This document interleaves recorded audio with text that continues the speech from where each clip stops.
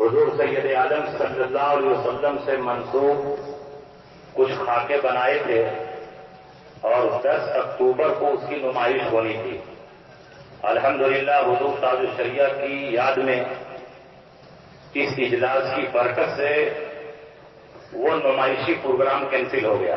ماشاء اللہ علامہ اسجد رضا صاحب نے ابھی ابھی اپنے واٹس ایپ سے انگلش نیوز پڑھ کے بتایا کہ دنیا بھر کے مسلمانوں کے احتجاج اور ہالینڈ کی مصنوعات کے زبردست بائیکاٹ کے نتیجے میں اور سوشل میڈیا پر سوشل میڈیا پر مسلمانوں کے زبردست احتجاج کی وجہ سے وہاں کی حکومت نے ان گستاخ صحافیوں پر دباؤ بنایا اور انہوں نے اس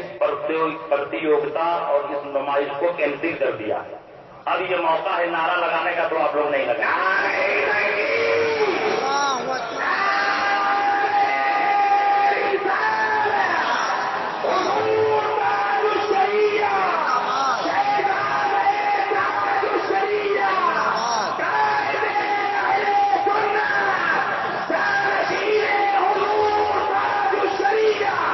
لیکن اعلیٰ حضرت کی دیوانوں کی لڑائی ختم نہیں ہوئی ہے۔ آئندہ بھی اگر یہ گستاخ اس قسم کے خاکے نبی اکرم صلی اللہ علیہ وسلم سے منسوخ کر کے شائع کرنے کی کوشش کریں گے، تو پورے ہندوستان میں ہم لوگ ہلچل مچا دیں گے اور ہندوستانی حکومت پر اتنا دباؤ بنائیں گے کہ ہندوستانی حکومت خود مطالبہ کرے گی کہ اس نمائش کو کینسل کیا جائے۔ اس لیے آپ اپنی حرارت کو اپنے سینے میں محفوظ رکھیں۔ لیکن فی الحال رپورٹ علامہ اسجد رضا صاحب نے اپنے واٹس ایپ کے انگلش نیوز کو پڑھ کر کے بتایا کہ الحمدللہ تاج الشریعہ کی برکت سے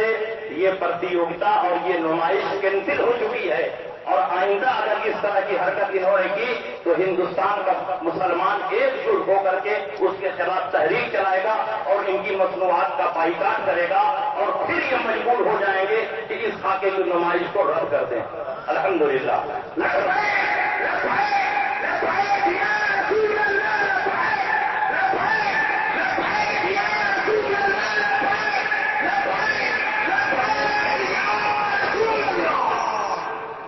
یہ نعرہ تو پاکستان میں لگتا ہے خادم حسین رضوی